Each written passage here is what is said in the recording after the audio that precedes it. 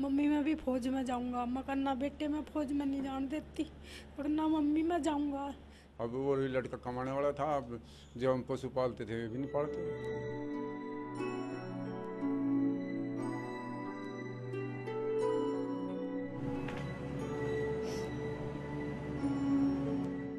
देश की बाहरी सुरक्षा के दम पर आंतरिक सुरक्षा की नींव रखी जाती है। और इसी भावना से सेना की तरफ़ से महिपाल मलिक के बेटे मनीष मलिक को सेना ने 2014 में कांगो भेजा, जहाँ से एक साल बाद खबर आई कि मनीष मलिक शहीद हो गए।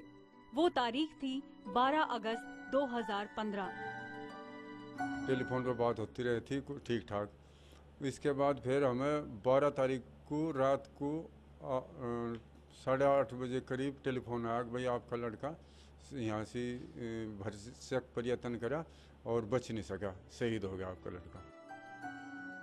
मनीष घर में इकलौता कमाने वाले सदस्य थे। उनकी शहादत के बाद माता पिता दोनों की हिम्मत टूट गई। महिपाल मलिक का कहना है कि उनका बेटा तो चला गया, लेकिन उसके बाद जो हक उन्हें मिलना चाहिए था, वो अब तक नहीं मिल पाया है। उनके पास जितने भी डॉक्यूमेंट्स हैं उनके आधार पर भी ये साबित होता है कि जो पैसे यूएन की तरफ़ से उन्हें मिलने चाहिए थे वो नहीं मिले। हताश निराश शहीद के पिता ने मीडिया का सहारा लिया। S D M D M ने आया था कि हम आपकी भाई मदद करेंगे जो भी होगी और गवर्नमेंट से भी राज्य सरकार से केंद्र सरकार से जो भी आपकी मदद करी जाएगी। वहीं अपने कलेजे के टुकड़े को खोने वाली माँ तो एक साल बाद भी सदमे में है।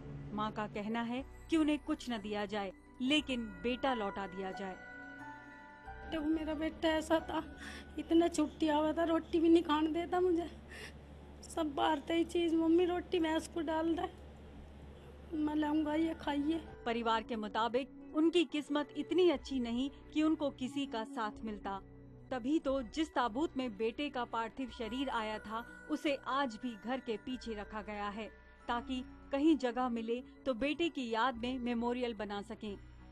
उस वक्त बड़े बड़े लोग आए और वादा भी किया, पर अब तो न कोई आता है और न ही किसी को पुराना वादा याद है। सौ गज का ये मकान भले ही छोटा है, लेकिन इसमें रह रहे उस माता पिता का दिल बहुत बड़ा है, जिसने कि उस बेटे को जन्म दिया, जो आज इस दुनिया में नहीं है। जी हाँ सोचिए उस शहीद के पिता पर क्या गुजर रही होगी। एक तो बेटे के जाने का दुख, दूसरी तरफ़ जूझती और लड़ती ज़िंदगी। पैसे की किल्लत तो है ही, इसके साथ ही पिता की अंतिम इच्छा ये है कि उसे केवल दो गज ज़मीन दी जाए, ताकि वो अपने बेटे की समाधि बना सके। कैमरा पर्सन अश्लील के साथ मैं प्रांजलि सिंह, लोनी, उत्तर प्रदेश।